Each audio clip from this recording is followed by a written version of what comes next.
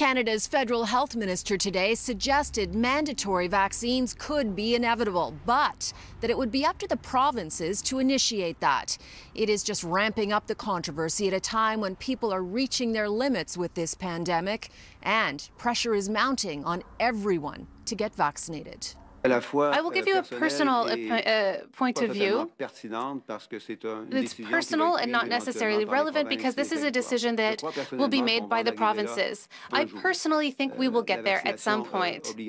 Mandatory vaccination. It means the onus is on provinces. So far, the Ford government has not responded to a request by City News for a comment. But making vaccines mandatory would be a political landmine for a conservative government that initially resisted vaccine passports.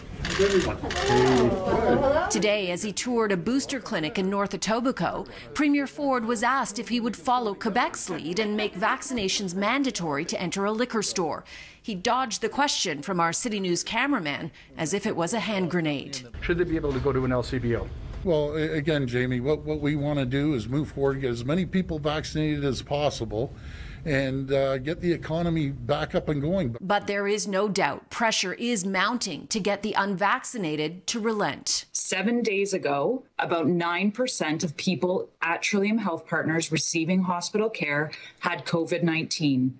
But today, that number is 16%. If you are an unvaccinated adult, you are going to become part of the Omicron wave that is threatening our hospitals.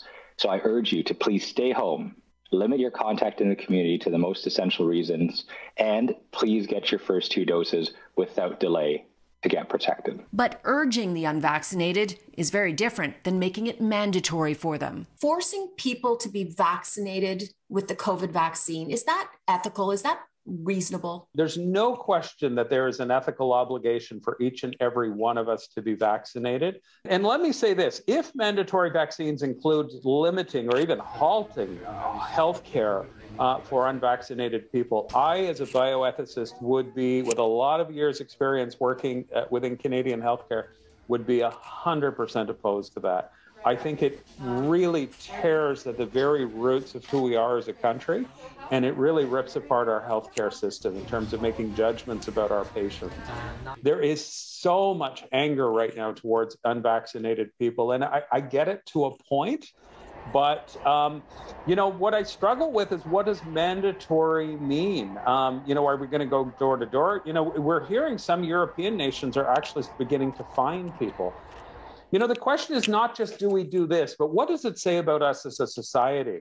Yes. And how far do we go? You know, what does it mean in terms of the social fabric of Canada?